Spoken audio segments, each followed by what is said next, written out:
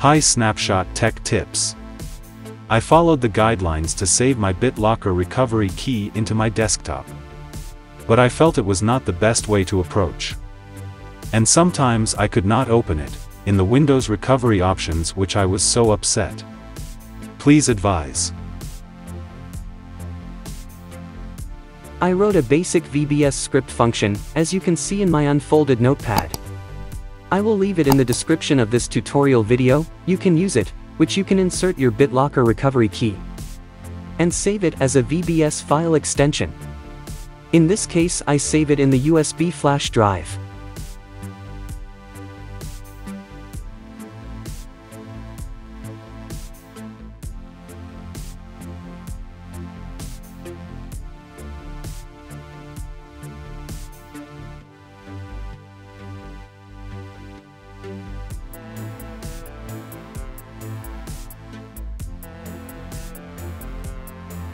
As you can see, once you click on it, it will display your BitLocker recovery key.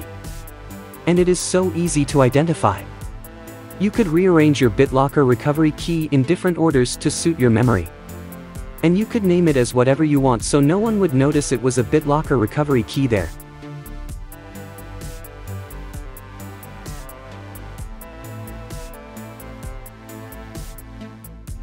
Once day, you could not get into your Windows because you completely forgot your BitLocker recovery key.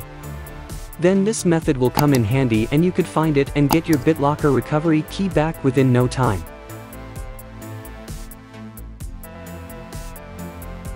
First in the command prompt window. You can type notepad and then hit enter. Navigate to File tab. Scroll down. And select Open option.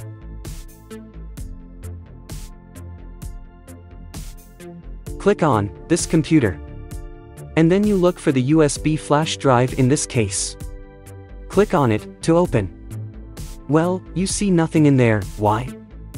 Next, you will search for all files which it is located in the files of type. Then your BitLocker VBS extension file will being pop up. You click on it. It will tell you all about your BitLocker recovery key.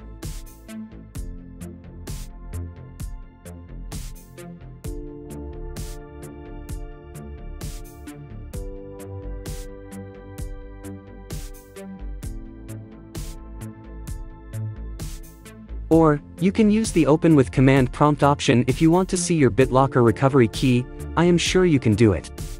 If you find it is a useful tip, go ahead to subscribe to this channel and thumb up too.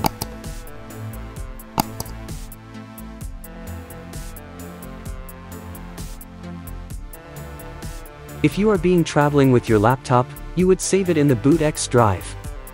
You can copy BitLocker VBS extension file to BootX drive, well just follow this tutorial video because it is so self-explanatory steps and also it is highly recommended to rename BitLocker VBS extension file to your own favorite name. To avoid someone could find your BitLocker recovery key.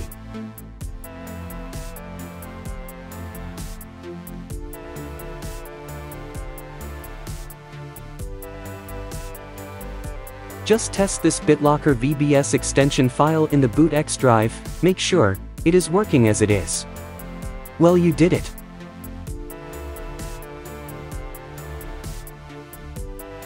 Thanks for watching.